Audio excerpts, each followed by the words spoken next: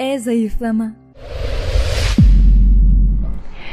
sağlıklı bir yaşam için yapılacak olan egzersiz yaşınıza göre, cinsiyetinize göre değişebiliyor. Biz Dünya Sağlık Örgütü'ne göre hareket etmeye çalışıyoruz. E, burada da biraz yaş grubuna göre eğer sınıflayacak olursam çocuklarda ve ergenlerde yani adolesanlarda beklediğimiz e, günlük 60 dakika olarak ve e, haftalık en az 3 gün şeklinde istiyoruz. Orta seviyeli bir spor olarak tercih edebilirsiniz bu 60 dakikanızı. E, yetişkinler için eğer yüksek şiddetli bir aktivite yapıyorsanız 75 ama orta şiddetli bir aktivite yapıyorsanız mesela hızlı tempolu bir yürüyüş gibi bunu haftalık 150 dakika şeklinde olmasını istiyoruz. E, ve haftada en az 2 gün mutlaka kas gruplarını çalıştıran bir sporla da desteklemenizi istiyoruz.